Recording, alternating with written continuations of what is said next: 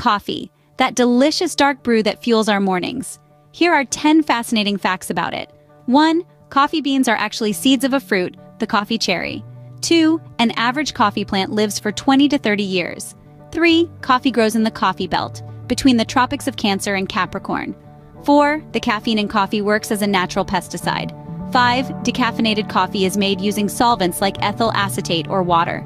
6. There are over 120 species of coffee, with Arabica and Robusta being the most common. 7. Many coffee farms help preserve rainforests, as coffee plants thrive in their shade. 8. Espresso is not a type of bean, but a brewing method using pressure. 9. Coffee is technically a fruit juice, as it comes from the coffee cherry. 10. Legend has it, an Ethiopian goat herder discovered coffee when his goats got energetic after eating coffee cherries. Which fact surprised you the most? Support us by liking, commenting, and subscribing to our channel. Until next time, keep sipping that brew.